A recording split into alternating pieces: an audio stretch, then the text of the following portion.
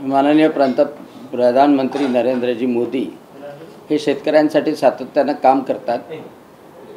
नुकतंच काही दिवसाच्या अगोदर अगोदर खाद्यतेलावर आयात शुल्क सदोतीस टक्क्यापर्यंत वाढलं आणि त्यामध्ये त्यामुळं सोयाबीनच्या भावामध्ये वाढ दिसली. सरकीच्या भावामध्ये सुद्धा वाढ दिसली. एवढंच नाही तर आता कालच्या कॅबिनेटमध्ये प्रधानमंत्री सुरक्षा अभियान पी एम आशामध्ये अनेक निर्णय घेण्यात आले.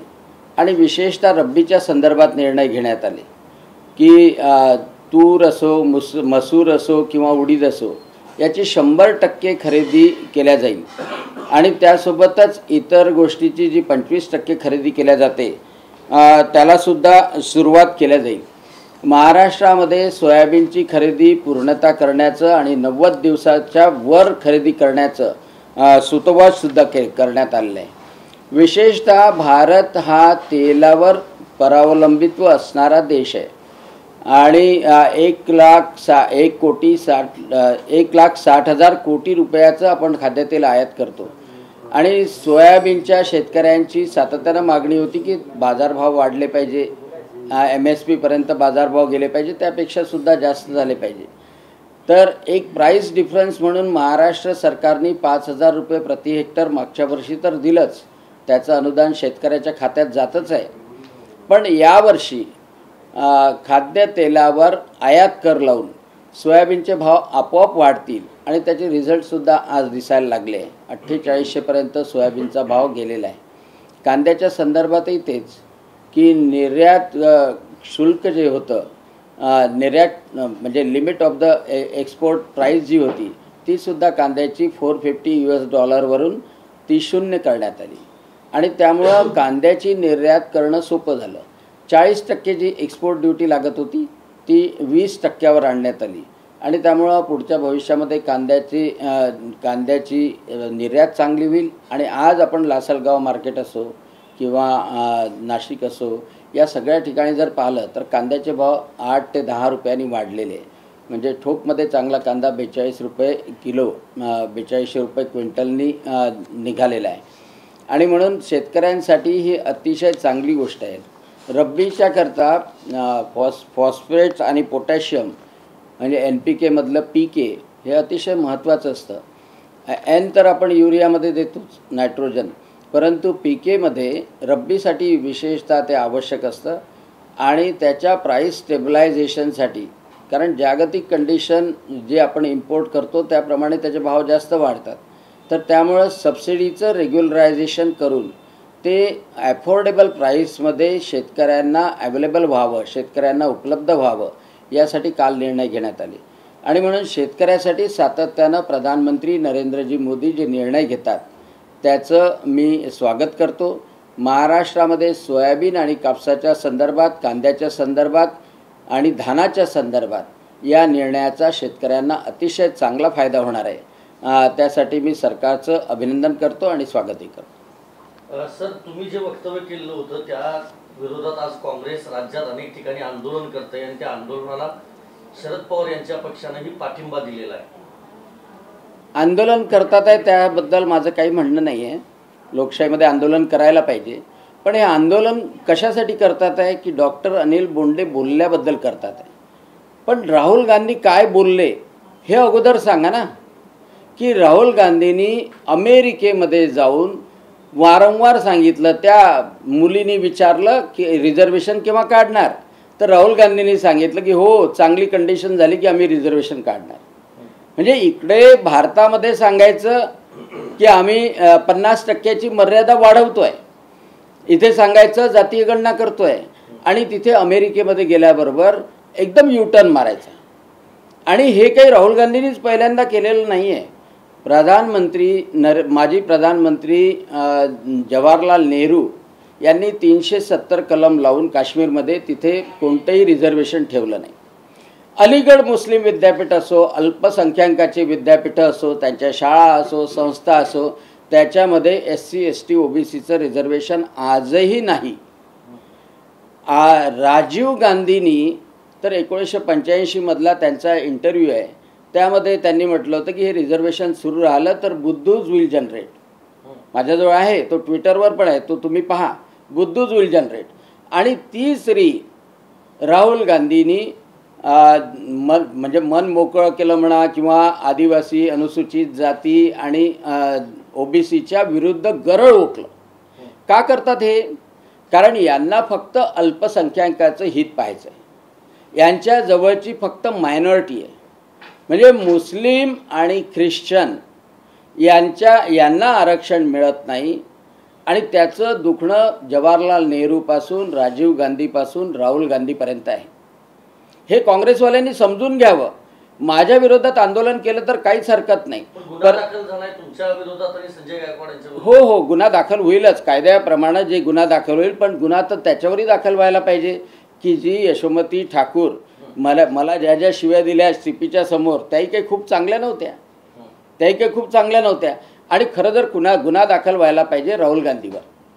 कारण राहुल गांधी परदेशात जाऊन भारताच्या विरुद्ध गरळ ओकतात राहुल गांधी परदेशात जाऊन इथल्या सत्तर टक्के लोकसंख्या असलेल्या आदिवासी अनुसूचित जातीचे दलित वर्ग आणि एवढ्या मोठ्या प्रमाणात असलेला ओबीसी हा सत्तर टक्के आहे भारतामध्ये. या सत्तर टक्के लोकांना भीती दाखवतात की पुढच्या भविष्यामध्ये आम्ही आरक्षण काढू शकतो. हे राहुल गांधीच्या वक्तव्यामधून ध्वनित होतं. राहुल गांधींनी खरं म्हणजे माफी मागितली पाहिजे. हो राहुल नाही राहुल गांधींनी माफी मागितली पाहिजे. राहुल राहुल गांधींनी या आंदोलनात काँग्रेसच्या आंदोलनात सगळ्या यशोमती ठाकूर असो नाना पटोले असो किंवा शरदचंद्र पवार असो मी अपेक्षा करतोय शरदचंद्र पवार साहेबांकडनं. ऐका ना ऐका मी अपेक्षा करतोय शरदचंद्र पवार साहेबांकडून की त्यांनी राहुल गांधींकडून स्पष्टीकरण मागवावं याचं. स्पष्टीकरण मागवावं. आणि नंतर पाठिंबा द्यावा त्या आंदोलनाला. राहुल आणि गांधी काँग्रेसचे यांचं नेते बाळासाहेब वक्तव्य थोरात असं आहे- म्हणतात की तू सगळे हे जे सगळे थोटांड आहे अमेरिकेमध्ये राहुल गांधी असे बोलले नाहीये. फक्त एक अंश असं म्हटलेले आहेत त्यांचं वक्तव्य असं आहे जेव्हा सर्व लोक समान होतील तेव्हा आम्ही आरक्षण बंद करण्याचा विचार करू. नाही. भाजपचं काय म्हणणं आहे याच्यावरती? भाजप कधी भाजपला समजा प्रश्न विचाराल अनिल बोंडे यांना आम्ही प्रश्न विचारतो तुम्ही आरक्षण कधी बंद कराल? तुम्ही एक क्लिप काढा राहुल गांधीची. त्यामध्ये सर्व समान नाही म्हटलं आहे when fair conditions will occur and at present fair conditions are not there म्हणजे केव्हा फेअर कंडिशन येतील? राहुल गांधी सत्तेवर आल्यानंतर फेअर कंडिशन येतील. फेअर कंडिशन आल्याबरोबर आरक्षण काढू. अरे भारतरत्न बाबासाहेब इक्वॅलिटी वगैरे बोलले नाही. इक्वॅलिटी तर संविधानातच लिहिली आहे. इक्वॅलिटी वगैरे कुठेच बोलले नाही. अरे भारतामध्ये भा हे काही नेहरूंनी आरक्षण दिलेलं नाही आहे हे भारतरत्न बाबासाहेब आंबेडकरांनी नेहरूच्या विरोधानंतर सुद्धा आरक्षण दिलेलं आहे. आणि आणि त्यामुळं हे आरक्षण काढण्याचा अधिकार फेअर कंडिशन आल्या. आता राहुल गांधी म- म- किंवा काँग्रेस कधी सत्तेवर आली तर ते डिक्लेअर करतील की फेअर कंडिशन झाली. सगळीकडे इक्वॅलिटी आहे. काढतो आरक्षण. ह्या तर ह्या तर जरतरच्या गोष्टी आहे. आणि त्यामुळं खरं म्हणजे राहुल गांधींनी परदेशात जाऊन हे बोलले त्याबद्दल माफी मागायला पाहिजे. या काँग्रेसवाल्यांनी सगळ्यांनी ईमेल करायला पाहिजे. की ज्या दलित लोकांनी ज्या आदिवासींनी ज्या ओबीसींनी मतदान केलं लोकसभेमध्ये त्यांच्या जीवावर राहुल गांधी जर उठत असेल तर राहुल गांधींनी हे स्टेटमेंट पाठीमागं घ्यावं. सर तुम्ही एका पार्लमेंटरी पोस्टवर आहात you are a mass parliament mass representative तर तुम्ही अशा नॉन पार्लमेंटरीच्या यूज करणं word हे. किती कितपत खरं आणि चांगलं कारण की हे तो रिफ्लेक्शन जातो सोसायटीमध्ये. तर तुम्ही कसं त्याला हे बघतात आणि म्हणून तुम्ही माफी मागतात का ज्या ज्या. सोसायटीमध्ये मी राहतो ज्या समाजामध्ये मी राहतो त्यामध्ये एखादा मुलगा जर व्रात्यपणे बोलत असेल एखादा मुलगा जर वारंवार आपल्याच घराची बदनामी करत असेल शिव्या देत असेल त्याची आई काय म्हणते? थांब तुझ्या तोंडाला चटके देतो. थांब तुझ्या जिभेला चटके देतो. म्हणजे क- त्याच्या त्या मुलाचं काही वाईट नसतं करायचं त्याला. पण त्या मुलाची ती सवय मोडायची असते. एवढंच सांगितलं मी की कमीत कमी भारताच्या विरुद्ध जाऊन बाबा रे भारताच्या विरुद्ध जाऊन नको बोलू. गरळ नको ओकू. सत्तर टक्के ओबीसी आदिवासी एस सी आहे. त्यांच्या जीवावर का उठला? हे पुन्हा पुन्हा नको करू म्हणून जो वाक्प्रचार आहे. थांब तुझ्या जिभेला चटके देतो. तो वाक्प्रचार आहे. त्याच्यामध्ये हिंसा नाही. म्हणून तुम्हाला खासदार पद मिळालं. अमित शहाना त्यांनी मदत केलेली होती. पद तुम्हाला कसं मिळालं हे आम्हाला माहिती आहे. ते आम्ही समोर आणू असं नाना पटोले म्हटलं. आता नाना पटोल्या पटोलेला कुठलीही तारे तोडायची सवय असेल. माझा भाऊ पोलीस आहे. तो स्वतःच्या बळावर एम पी एस सीमध्ये गेला. तो सिलेक्ट झाला आणि स्वतःचा नोकरी करतो आहे आणि मी राजकारणामध्ये डॉक्टर की नंतर आलो. नाना पटोलेसारखं कंचे खेळून नाही आलो. नाना पटोलेंनी कोणतं कर्तृत्व गाजवलेलं आहे? मी स्वतः M B B S M D होऊन स्वतःचं हॉस्पिटल टाकून म- प्राध्यापकी करून शिवसेनेमधून आलो. संघर्ष करत करत आलो. माझ्या घरात कोणी राजकारणात नाही आहे आणि त्यामुळं हे असे तारे तोडणारे ते काही काढतील. आणि आता मग एकच त्यांनी उपाय आहे की राहुल गांधीला त्यांनी सांगावं की O B C S C S टीच्या विरोधात जे जे राहुल गांधींनी अमेरिकेमध्ये बोललं ते बिनशर्त पाठीमागे घ्यावं. या समाजांची माफी मागावी.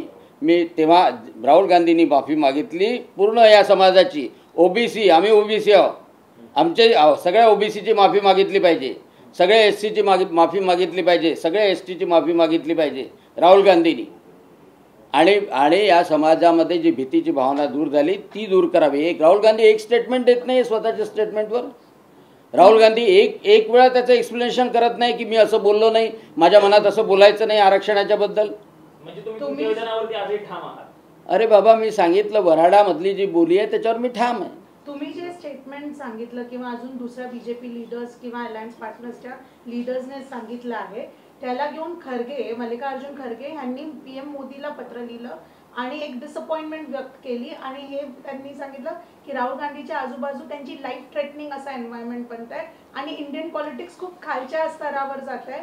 महात्मा गांधी इंदिरा गांधी किंवा राजीव गांधी यांनी असा माहोल कधी क्रिएट केला नाही. काँग्रेसच्या अनेक खासदारांनी मोदीजींना ज्या ज्या शिव्या दिल्या त्या सगळ्या जर ट्विटरवर काढल्या म्हणजे मोदीजींना जीवाच्या धमक्यापर्यंत दिल्या त्या खरगेंना मी दाखवतो मल्लिकार्जुन खरगेंना.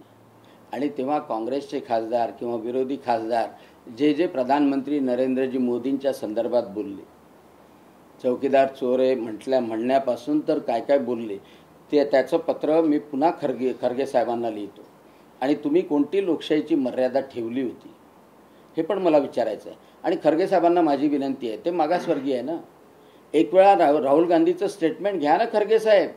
एक वेळा स्टेटमेंट घ्या की मी की कधीही भारतरत्न बाबासाहेब आंबेडकरांच्या संविधानाला राहुल गांधी धक्का लावणार नाही आरक्षण बंद करणार नाही ते परदेशात गेल्यानंतरही मी असं बोलणार नाही. एक पत्र राहुल गांधींना लिहा. मोदीजींना लिहिलं चांगलं आहे पण एक पत्र राहुल गांधींना लिहा अशी माझी खडगे साहेबांना विनंती काँग्रेसने तर भरपूर टीका केली. मोत मोत का सौदागरपासून टीका केले. पण मला एक म्हणायचं आहे पण काँग्रेसने टीका केल्यामुळं तुमच्यासारख्या एखाद्या अं, खासदारांचे की राज्यसभेमध्ये बसतात तर तुम्ही पण तीच भाषा वापरणं म्हणजे त्यांनी चूक केली म्हणून तुम्ही तीच चुकाची काय पुनरावृत्ती करणं मी काँग्रेस मी? मी काँग्रेसच्या मुळं भाषा नाही वापरत आहे.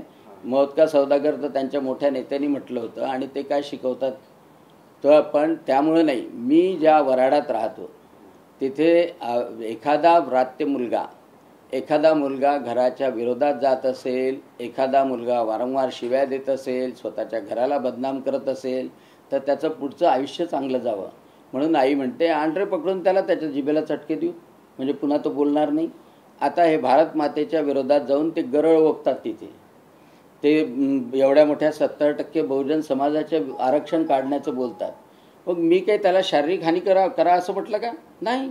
त्याला म्हटलं जिभेला चटका माहीत आहे ना. आता आपल्या आदिवासी भागामध्ये तर पोटालाही चटके देतात. तर कारण की त्याची सवय मोडावी म्हणून एवढं साधं म्हटलं याच्यामध्ये हिंसा वगैरे काहीच नाही त्याच्या जीवाला कुठेच धोका होत नाही. आलं लक्षात? संजय यांनी. उत्तर दिलंय मल्लिकार्जुन खरगे यांना याच पत्रावर हे सांगून की तुम्ही एका फेल्ड प्रोडक्टला पॉलिश करताय आणि तुम्ही हे बघा की राहुल गांधी म्हणजे आयडियली इनडिरेक्टली ऑब्विसली तुमच्या स्टेटमेंट्सला सपोर्ट केलं. एक साधी गोष्ट आहे की ज्या लोक ग्रामीणमधून जे लोक खेड्यापाड्यातून आलेले आहेत त्यांना या स्टेटमेंटबद्दल काही वाटत नाही. कारण की त्यांना माहीत आहे की राहुल गांधींनी या भारताच्या विरोधात गरळ ओकली आहे. बहुजन समाजाच्या विरोधात एस सीच्या विरोधात एस टीच्या विरोधात गरळ ओकली आहे. त्यांचं आरक्षण काढण्याचा काढण्याचं बोलून दाखवलं आहे. म्हणजे हे ही मनीषा का व्यक्त होते? मला हे सांगा ना असं बोलावंसंच का वाटतं? समजा जर एखाद्या वेळेला बाकीच्यांनी बोललं असतं तर यांनीच गोंधळ केला असता. अशी इच्छाच का होती की आम्ही चांगली कंडिशन झाली की आदिवासींचं आरक्षण काढून टाकू? अशी कंडी असं मनातच काय येतं की एस सीचं आरक्षण काढून टाकू? की त्यांचं त्यांचे मतं घेतले ना बाबा तुम्ही. ऐका ना त्यांचे मतं घेतले ना आणि भरभरून प्रेम दाखवलं ना. भरभरून प्रेम दाखवलं आणि एवढंही म्हटलं की भाजप सत्तेवर आली तर संविधान धोक्यात येईल आणि आरक्षण धोक्यात येईल. आणि हे म्हणायला जास्त दिवस नाही झाले तीन शंभर दिवसच झाले फक्त. शंभर म्हणजे ते खटाखट खटाखट खटाखट तर म्हटलंच आठ हजार पाचशे रुपयाचं ते तर खोटंच होतं. पण हे म्हटलं ना आणि हे म्हटल्यानंतर परदेशात गेल्याबरोबर जर का तुम्ही म्हणत असाल की when fair condition prevails will withdraw the reservation at present there are no fair condition आम्ही आलो म्हणजे येईल फेअर कंडिशन आणि आम्ही काढू आरक्षण. म्हणजे एवढं जर असं म्हणत असेल तर दॅट इज व्हेरी बॅड नाही त्यांचा म्हणण्याचा उद्देश होता की जे पी नड्डांनी जे पत्र लिहिलेलं आहे खरगेंना आणि त्याच्यामध्ये सांगितलेलं आहे की राहुल गांधी हे फेल प्रोडक्ट आहेत फॉल्टी प्रोडक्ट आहेत. आता जर अशा प्रकारची जर भाषा वापरली जात असेल राहुल गांधी अगोदर खात होते त्यांच्या काँग्रेसची किती संख्या होती माहिती आहे पण आता ते विरोधी पक्षांचे नेते आहेत. मग अशा वेळी फेल प्रोडक्ट म्हणणं भावा हे तर नड्डा साहेबांनी म्हटलं पण सगळ्या जगाला माहीत आहे. फेल प्रॉडक्ट आहे. आत्ता मी एका ट्विटरवर अमेरिकेच्या सिनेट मेंबरचं पाहिलं. अगर गांधी नाम न होता तर हे छोले बेच रहा होता. दा पाठवतो तुम्हाला वाटलंच तर ते ट्विट गांधी नाम न होता तो छोले बेच रहा होता. आणि खरंच परंपरेने मिळालेलं आहे. काय आहे त्याच्यामध्ये? म्हणजे मला सांगा त्यापेक्षा संघर्ष करणारा खालचा कार्यकर्ता अधिक मेहनत करतो लोकांसाठी काम करतो. मला सांगा परंपरेने आमच्या घरात तर कोणी खासदार नव्हतं. आमच्या घरात कोणी आमदार नव्हतं. आम्ही तर संघर्ष करून आलेलो आहे. काँग्रेसचेही अनेक आमदार खासदार आलेले मग कोणताही संघर्ष न कर करता फक्त जन्म दिला त्या देवानी त्या घरामध्ये म्हणून मिळालेलं आहे. म्हणजे ते नाव जर नसतं तर त्या ट्विटमध्ये म्हटलं आहे गांधी नाम न होता तो हे छो छोले बेच रहे होते. असं आहे. आणि त्याच्यामुळं ते प्रॉडक्ट प्रॉ आता प्रॉडक्ट प्रॉडक्ट झाला आहे तर ते फेल आहे. सगळ्या जगाला माहिती. पण खूप दिवसांनी उद्धव. ठाकरेंची पैठणमध्ये सभा झाली. त्यात त्यांनी खूप दिवसांनी हिंदू बांधव आणि भगिनीचा भाषणामध्ये उल्लेख केलाय. त्यांना आता हिंदू आणि हिंदू बांधव आठवत आहे हिंदू भगिनी आठवत आहे हिंदू बांधव आणि भगिनी आठवतात आहे पण बांगलादेशमध्ये बांगलादेशमध्ये हिंदूंवर एवढे अनन्वित अत्याचार झाले. मी अगोदर शिवसेनेचा होतो. समजा जर का शिवसेना प्रमुख माननीय बाळासाहेब ठाकरे असते ना त्यांनी सांगितलं असतं की प्रत्येक जिल्ह्या जिल्ह्यात निषेध करा. हे तर सकल हिंदू समाजाच्या मोर्चात शिवसेनावाले नाही आले उबाटाचे. यांच्यातलं सत्व गेलेलं आहे. यांच्यातलं सत्व गेलेलं आहे. यांच्यातलं हिंदुत्व गेलेलं आहे. शिवसेना प्रमुख माननीय बाळासाहेब ठाकरेंचे विचार असे काढून बाजूला ठेवले आहे आणि सोनिया गांधीचे विचार कडेवर घेतले. याला याला जोडून असा प्रश्न आहे की जर आदित्य ठाकरे बांगलादेशावर विरोधाची भूमिका घेते तर भारतीय जनता पक्षाचं सरकार सत्तेत आहे. ते का बांगलादेशाच्या टीमला मदत करताय? हेही तसंच प्रॉडक्ट आहे. जसं जसं राहुल गांधी आहे हे तेच प्रॉडक्ट आहे. म्हणजे जे म्हटलं ना हे परंपरेने. नाहीतर म्हणजे यांना यांना काय अर्थ राहिला असता मला सांगा ना. जन्म त्या घरात मिळाला त्याच्याशिवाय दुसरं काही मिळालं नाही. मला सांगा एखादा बांगलादेशाच्या हिंदूंवर अत्याचार झाला आदित्यजी कधी रस्त्यावर उतरले का? आदित्यजी एखादा तर मोर्चा काढा. त्या मुंबईमध्ये सगळ्या हिंदूंना घेऊन शिवसेनेला घेऊन का भीती वाटते का काँग्रेसची राष्ट्रवादीची? ते तुमचा निषेध करतील म्हणून ते बाहेर काढतील म्हणून. दुसऱ्याला शिकवण्याच्या अगोदर तुम्ही काय करता ते तर पहा. हिंदूवरती अत्याचार होतात ज्या हा? बांगलादेशामध्ये नाही. सारखं प्रॉडक्ट आहे. जसं जसं ते प्रॉडक्ट आहे तसं हे प्रॉडक्ट राहुल गांधींचं प्रमाण. ज्या पण बांगलादेशामध्ये परंपरेनं आलेलं प्रॉडक्ट ज्या- चांगले शिकलेले ते नाईट लाईफला त्यांनी सपोर्ट केलेला आहे. आहे म्हणूनच म्हणतो ना परंपरेनं आलेलं प्रॉडक्ट तुम्ही आहे आता- नाईट लाईफला सपोर्ट का लोकांमध्ये काम करणारा माणूस नाही करणार. तो रात्रीची मजुरी करणाऱ्या माणसाच्या पाठीशी उभा राहील. नाईट लाईफच्या पाठीशी उभा नाही राहणार. जेव्हा पाकिस्तान आणि भारतामध्ये वाद होता तिथे हिंदूवरती अत्याचार होते त्यावेळेस बाळासाहेब ठाकरे क्रिकेट खेळ खेळण्यास मनाई हो करायचे. हो. आता बांगलादेश सोबत मॅच सुरू आहे. जय शहा हे अध्यक्ष आहेत. तर तुमचा याला विरोध का नाही? नाही नाही तेव्हा शिवसेनेमध्ये मी होतो. मला माहीत आहे ते पीच खोदलं होतं तेव्हा. परंतु भारतातल्या सकल हिंदू समाजाने त्याचा निषेध केला. एक महत्त्वाची गोष्ट लक्षात ठेवा की पहिले भारताचे प्रधानमंत्री आहे की त्यांनी ती युनुस पदावर गेल्याबरोबर त्यांचं अभिनंदन करताना निक्षून सांगितलं. की बांगलादेशमध्ये असलेल्या भारतीयांवर कुठेही अनन्वित अत्याचार होऊ नये. एवढं कणखरपणे सांगणारा प्रधानमंत्री एक आहे. आता एवढीच यांना जर वाटते एवढंच यांना जर वाटते तर उदा आदित्य ठाकरेंनी जाऊ ना पीच खोदायला काही हरकत नाही. नाही नाही. ठीक आहे ना. माझं काय म्हणणं आहे की यांना एवढा सल्ला द्यायचा आहे. शिवसेना प्रमुख मान्य बाळासाहेब ठाकरेंनी सल्ला दिलाच नाही. डायरेक्ट जाऊन पीच खोदलं. आदित्य ठाकरेंनी जाऊन पीच खोदावं ना. शिशिर शिंदे वगैरे त्यामध्ये होते. आदित्य ठाकरे आणि त्याच्या उभाट्याच्या लोकांनी पीच खोदायला काय हरकत आहे? काल एक देश एक निवडणूक अ, निर्णय मंजूर- नाही, एक- एक- एक- एक- खूप चांगला निर्णय एक देश एक निवडणूक. हां. हा अगोदर टॉपिक संपू द्या. जे तुमच्यावर जो दाखल केलेला आहे गुन्हा किंवा तुमची जी तक्रार केलेली आहे त्याच्यावर तुमची पुढची भूमिका काय? तुम्ही कोर्टामध्ये जाणार का तुम्ही पण जे वक्तव्य केलेले आहेत काँग्रेस नेत्यांनी किंवा शिवसेनेच्या नेत्यांनी इन्क्लुडिंग अनेक नेते त्यांच्यावर पण तुम्ही तक्रारी दाखल करणार. नाही नाही तुमची भूमिका काय मी? मी कायद्यात हे बघ तक्रार दाखल झालेली आहे पोलीस स्टेशनमध्ये झालेली आहे मी आता इथून गेल्यानंतर उद्या तर प्रधानमंत्री नरेंद्रजी मोदी यांचा प्रवास आहे त्यांची सभा आहे. परवाच्या दिवशी मी पोलीस स्टेशनमध्ये जाणार. पोलिसांना जी जी कारवाई करायची असेल त्यांना सहकार्य करणार. आणि त्याच्यानंतर राहुल गांधींनी जे देशाच्या विरोधात वक्तव्य केलं आहे त्याचीसुद्धा तक्रार मी पोलीस स्टेशनमध्ये करणार. राहुल गांधींनी जे S C S T O B सीच्या समाजाला दुखावलेलं आहे त्याची पण तक्रार करणार त्याची पण चौकशी करायला सांगणार. यशोमती ठाकूर आता त्या महिला आहेत त्याच्यामुळे मी काही बोलत नाही पण त्या त्यांच्या भावाला म्हणजे मला एकदम घाणेरड्या घाणेरड्या शिव्या देतात. त्याच्यासाठी एक तक्रार करणार करणार ना सगळं करणार शेवटचा प्रश्न- या गोष्टीला. घेऊन हा. तुम्ही अं, राहुल गांधी यांनी माफी नाही मागितली तुम्ही अजून पण चटका देणार का त्यांच्या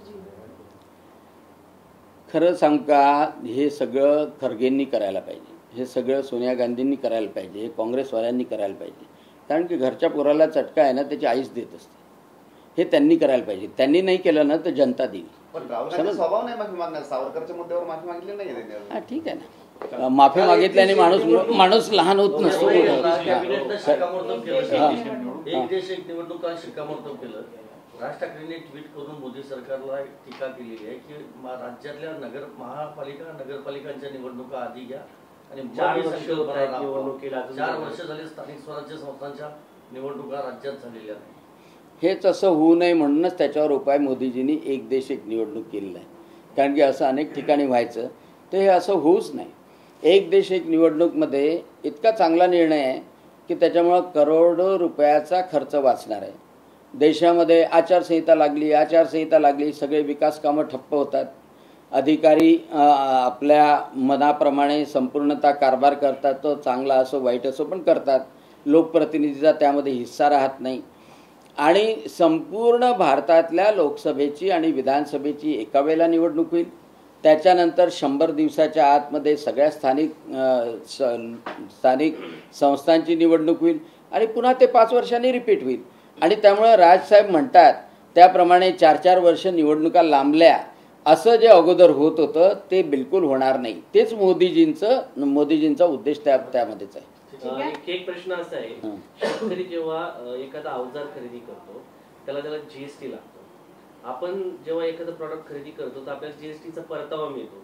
पण शेतकऱ्याला त्याचं जीएसटी जेव्हा रिटर्न मागायला जातो तर त्याला तेही मिळत नाही. समजा ट्रॅक्टरवरती एक तर तुमच्या सरकारने सबसिडी देतात त्या सबसिडीवरती परत पुन्हा टॅक्स असतो. तर याच्यावरती काही भविष्यात होईल का?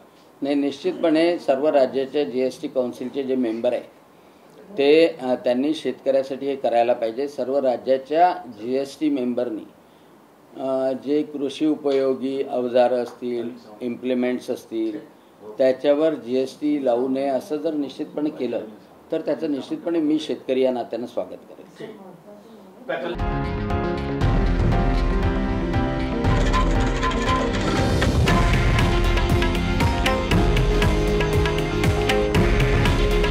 हे आहे देशातील नंबर वन न्यूज नेटवर्क आणि आपण पाहत आहात टी व्ही नाईन मराठी. काळजी तुमची हित महाराष्ट्राचं.